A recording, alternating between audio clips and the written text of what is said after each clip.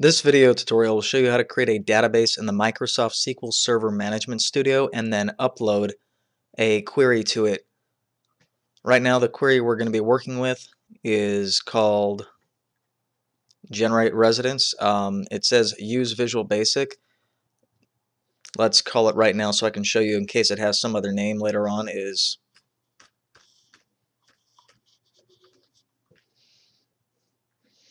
Okay, and here's the whole list. It's probably a few thousand lines. So I'm going to go ahead and close that out. Then we're going to come over here to uh, Microsoft SQL Server Management Studio. And then underneath databases, if you haven't already connected, normally this automatically connects you up and says, would you like to connect? And I'm already there.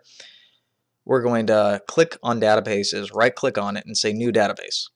I'm going to call this database Visual Basic because that is what I'm going to be connecting to in Microsoft Visual Studio.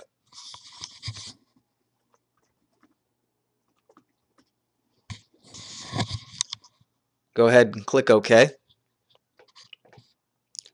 Notice that our database gets generated.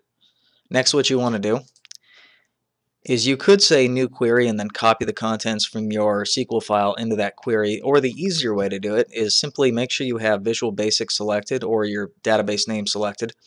Click on File, come over to Open, File, locate your file, open it, and then right here, notice that it underlines it and goes, well, I don't think this is what you mean. What is it you mean? Delete and start renaming.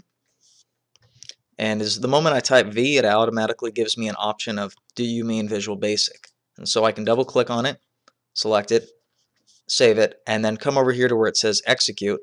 Click on execute, wait for it. Right now you can see it executing the query. Query has been successfully executed. Now to see it actually in action is we come over here and we're going to expand the database. And then we're going to expand the tables and we're going to find our table that got created. It's called DBO resident. Right click on it and say select top 1000 rows. And there you go. That's how you uh, add a database and insert a query that's already been generated into the SQL Server uh, Management Studio. Thanks for watching.